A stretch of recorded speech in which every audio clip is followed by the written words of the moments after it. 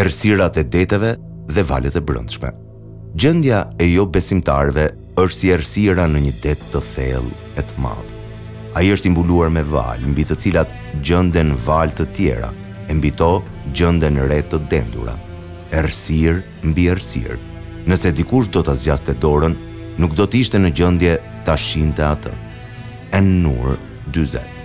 Gjendja e përgjithshme në thellësinë e deteve dhe oqeaneve është përshkruar në librin me titull Oqeanet.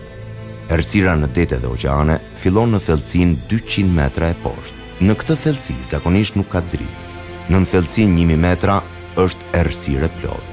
Sot ne zotërojmë njohuri mbi strukturën e përgjithshme të detit, mbi karakteristikat e gjallesave në të, Mbi kripësinë e tij, ashtu siç njohim edhe sasinë e tij të ujit, sipërfaqen dhe thellësinë e tij, ishin nëndetëset edhe pajisjet e sofistikuara të zhvilluara prej teknologjisë bashkëkohore, të cilat u krijuan mundësinë shkencëtarëve të sigurojnë këtë informacion. Qeniet njerëzore nuk janë të afta të zhyten më thellë se dyzet metra nën ujë, pa ndihmën e pajisjeve speciale.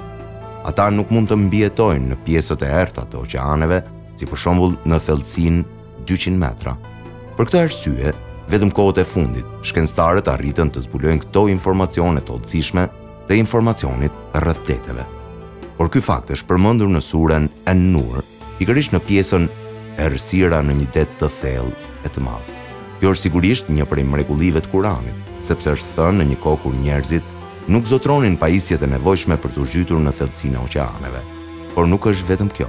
Shpallja në ajetin e dyzetë të sures En-Nur na tërheq vëmendjen tek një tjetër mrekulli shkencore e Kuranit, si errësira në një det të thellë e të madh. Ai është i mbuluar me valë, mbi të cilat gjenden valë të tjera e mbi to gjenden re të dendura. Ky ajet na jep mundësinë të kuptojmë se në ujërat në thellësi të oqeaneve gjenden valë, mbi të cilat gjenden valë të tjera. Merret lehtë me mend se valët e dyta janë valët sipërfaqësore, sepse pas tyre përmenden re, po valët e para, ç'janë. Kohët e fundit shkencëtarët zbuluan se ekzistojnë valë të brendshme, të cilat hasen ndërmjet shtresave me dendësi të ndryshme. Këto valë të brendshme mbulojnë ujërat e thellë të deteve dhe oqeaneve, sepse ujërat në thellësi kanë dendësi më të lartë se ujërat sipër tyre. Valët e brendshme lëvizin në mënyrë të ngjashme me valët sipërfaqësore, madje ato përthyen ashtu siç përthyen edhe valët sipërfaqësore.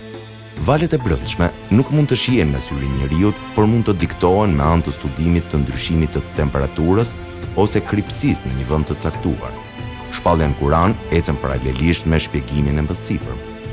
Pa mjetet e duhura, njeriu mund të shohë vetëm valët mbi sipërfaqen e detit, ndaj është e pamundur që dikush të ketë dijeni rreth valëve të brendshme në thellësi të detit. Por, ndërkohë në suren En-Nur, Zoti na flet për një lloj tjetër valësh, të cilat gjenden në thellësi të oqeaneve.